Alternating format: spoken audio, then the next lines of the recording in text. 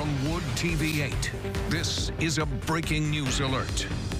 Yes, we begin with breaking news out of Grand Rapids. A man has been shot and taken to the hospital this morning. Here's what we know so far from Grand Rapids police.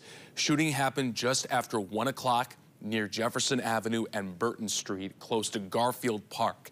The 23-year-old victim a man is shot and is expected to be okay after being taken to the hospital. We are still working to find out more information. Once we do, we will let you know here and at woodtv.com.